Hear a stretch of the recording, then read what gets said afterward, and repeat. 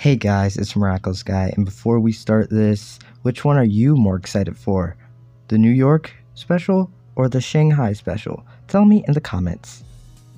Now, Miraculous World Network recently released a tweet saying, Which one are you most looking forward to that the synopsis have been revealed? If you have not seen both synopses, I have them in the description below.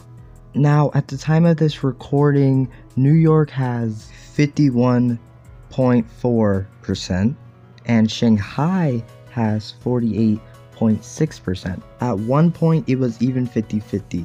A lot of people say both, but only one can win.